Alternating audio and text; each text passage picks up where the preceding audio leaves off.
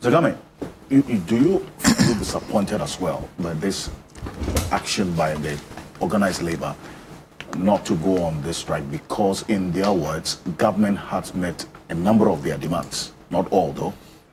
Mm. Feel disappointed, and uh, I've expressed my revulsion about this matter to some of them. To be very honest with you, I've heard too many people talking about uh, this issue should not be politicized. I agree uh, up to a point. But let's be clear. What is politics? Politics is about making decisions for and on behalf of people. Partisan politics is about belonging to NPP, NDC, Afafranto, and the rest of it. So if it is about the partisan part of it, let's put it aside. Mm -hmm. Let's come to politics as making decisions for and on behalf of people. Now, in the 1992 Constitution, it's very clear, and I'd like to premise my conversation on that. Mm -hmm. Article 36 is about directive principles of state policy, and it's indivisible. Anything that is directive principles, you cannot divide it. Stay focused on it. Article 36 9 says this. The state shall, it has no discretionary view on it take appropriate measures needed to protect and safeguard the national environment for posterity and shall seek to shall seek the cooperation with other states and um, bodies for purposes of protecting the wide the wider international environment for mankind this is the extent to which you can, can read many other parts of the law, the constitution and the law for it. Now, organized labor is the only preacher by law, and it was deliberately done. We have various unions like UTAG, NAT, and so forth and so on. Then we have various other unions like maybe ICU, we have Public Services Workers Union and so forth, they affiliated to TUC. Some may not affiliate to TUC. We may have other national unions and other centers like Ghana Federation of Labor and so forth and so on. So we put together all of them under the law Act 651 to ensure that we have an organized body, an entity that can pull themselves together as a force to protect the Constitution of Ghana and to ensure that the interest of their members and the wider society is protected. What I read, it talks about wider international, you know, uh, to enable mankind to be protected. It's because we share water in some cases with Cote d'Ivoire. And therefore, if we pollute our water and it affects Cote d'Ivoire, it becomes that, that is the issue that this is talking about. Now, back to the substantive issue. The issue is about why, why are we talking about this issue? One person, one executive authority, the President of the Republic of Ghana, is vested with all minerals in our water bodies, even salt, everything is vested in the executive president of Ghana. The president of Ghana is to ensure that he account for everything, including the minerals. And therefore, accountability is demanded on the president. If the president is not accounting for his stewardship, it becomes a question of you are not being responsible for what we have given you to account for.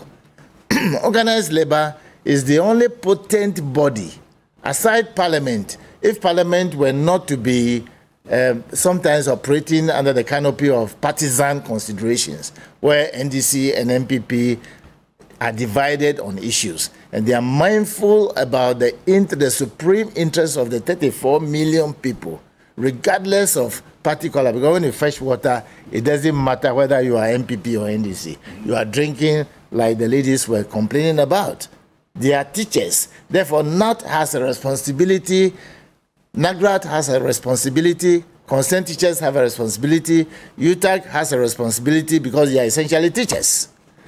And at this organized labor meeting, it is not to be acting as if this is a super executive and this is not an executive. One person is to facilitate that process of a meeting, therefore giving everybody opportunity to speak on why we should go in and demand for what we want to ask for. Because not just the question of being threatened, but we are virtually drinking poison minute by minute.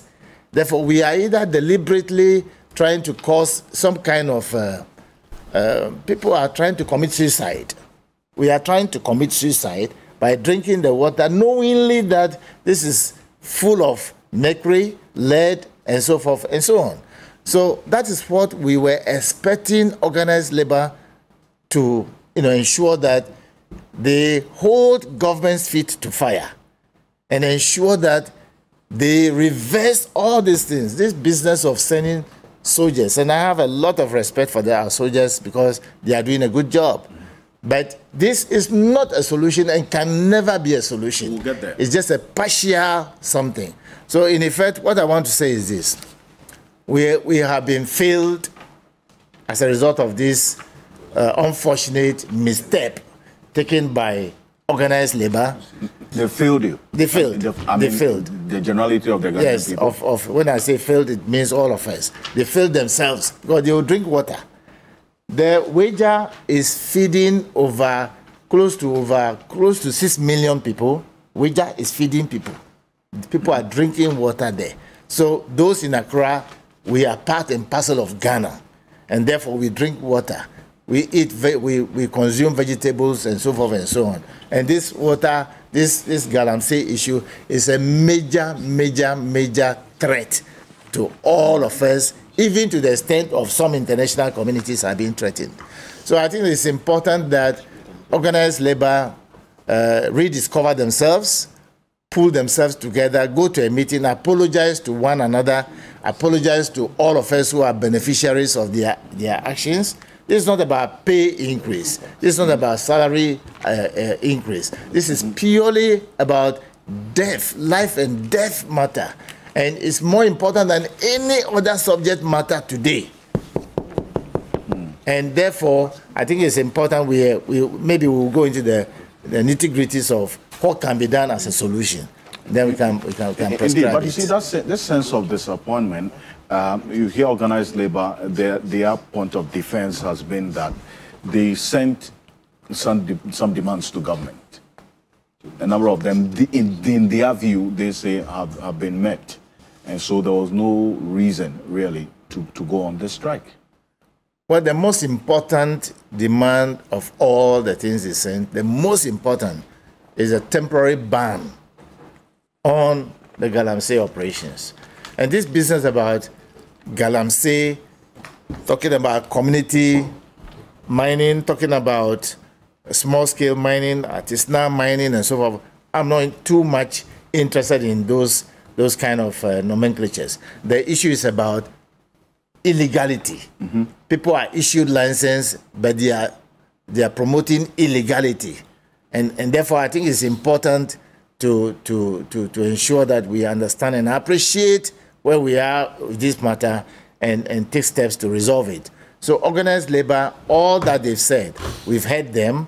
What the president is attempting to do, we've seen it. But the most important is to have a temporary ban so that we can then organize ourselves as a nation and have a national conversation on small scale mining. Senior. Responsible small scale When you mining. talk about the illegality, let me support you with the law. Okay, okay. Mm-hmm. Article 268 mm-hmm. of the Constitution. It says any transaction, mm.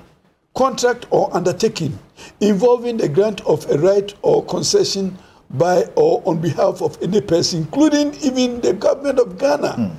to any person or body or persons whomsoever described for the exploitation of any mineral, water, or other natural resources of Ghana made or entered into after the coming into force of this constitution shall be subject to ratification by parliament. Exactly. And there is a, a clause, uh, clause two that says Parliament may, by resolution supported by the votes of not less than two thirds of all members of Parliament, exempt uh, from the provisions of clause one of this article any particular mm. class of any particular class of transactions, contract or undertaking. Mm. And we have purportedly misinterpreted uh, clause two to neutralize clause one mm. so that Minerals Commission has reserved a total and complete right to give concessions without recourse to ratification of parliament. Mm. And all such contracts that have not come. In fact, uh, clause two, uh, by interpretation, means that on contract by contract basis, we may, as parliament, mm-hmm. uh, dispense with that uh, mandate to any authority but it doesn't mean that we will give omnibus authority to an entity to be issuing licenses without coming to parliament. So all such licenses granted without the ratification by parliament are void avoidable. voidable. So and therefore, anything that they are flouting about as concessions here and there they have all those that have not been ratified are voidable contracts and non. You mean uh, they are illegal? They are illegal contracts. So, for, so as long as it hasn't been ratified, ratified because the, ratific- the, the, the, the, passage of the uh, the mandate is upon a, one application or the other, and we don't see the applications come to us for us to say, as for this one, Ministerial Commission do it. They have misinterpreted clause two to mean that they have an omnibus mandate to, to continue up to the conclusion of the compendium. And therefore, we as parliament, we are not even called upon to even ratify. So most of these concessions have gone under the hand of the executive of the uh, Minerals Commission. Commission. And I think that we have to correct ourselves as a nation. Just to offer additional information. Okay. Uh, earlier this year, the Honorable ranking member on the Lands and Minerals Commission now. He was then the uh, committee, was then the deputy ranking, Honorable Suhuyini, asked the minister to, to bring to parliament uh, all lines, uh, mining licenses that have been for ratification or notice of them. When the minister came, he brought some and left the major ones, uh, especially those for small scale mining.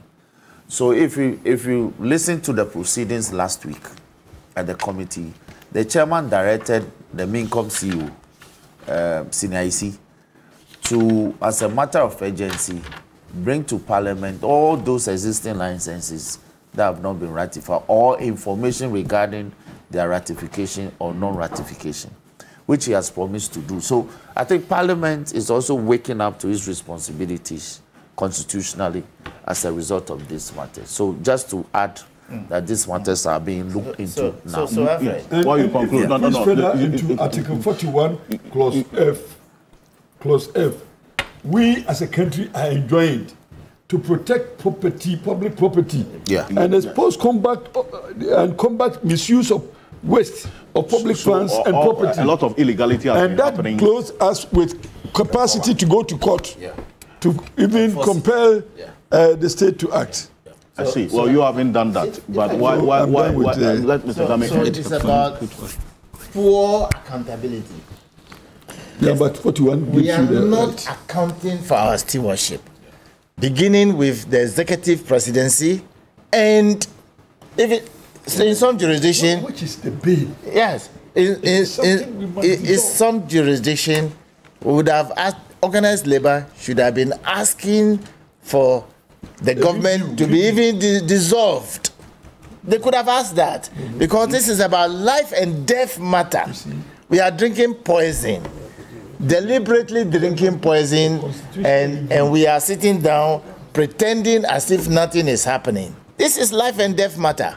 And therefore, the solution is a temporary ban so we can have a national conversation on the basis of what Andy had just uh, read to us. So uh, a that conversation. conversation. temporary ban on all forms all, of. Mining. All forms of, except the the AngloGold and so forth and so mm. that are not creating any problem for us. Yeah, I've okay. given you 41. Yes. That closes you with capacity exactly. to go to court for an injunctive orders to stop all those who have not been see, rectified. But the point is that ah, illegal. See, no, no, no.